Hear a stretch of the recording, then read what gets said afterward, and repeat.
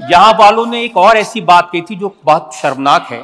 जब राम मंदिर बन के तैयार होने वाला था तो उद्धव ठाकरे की पार्टी के प्रवक्ता ने कहा कि ट्रेन में राम भक्तों को ले जाएँगे और पाकिस्तान की मदद से उस ट्रेन के ऊपर गोले बरसाएँगे, लोग मर जाएँगे, दंगे होंगे और फिर मोदी जी चुनाव जीत जाएँगे।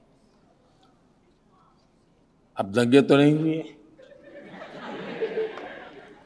कोई ट्रेन भी नहीं चली।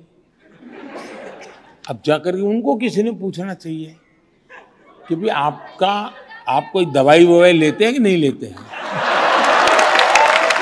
कोई मेडिकल चेकअप कराया कि नहीं कराया? कोई तो पूछो जाके भाई। चलिए, आप ये सवाल नहीं पूछ सकते, लेकिन उनकी हेल्थ का तो पूछो। उनकी बीमारी क्या है, ये तो पूछो। क्योंकि ऐसी बातें ऐसे नहीं निकलती भाई। कोई स्वस्थ मनुष्य थोड़ा करता है। तो सचमुच में आप जैसे लोग और आप लोगों की पहुँच हर जगह पे होती है। जरा पूछो तो भाई, अब तबीयत ठीक है ना? ये पूछना चाहिए उनको। कुछ नहीं हुआ, फिर भी 400 पार।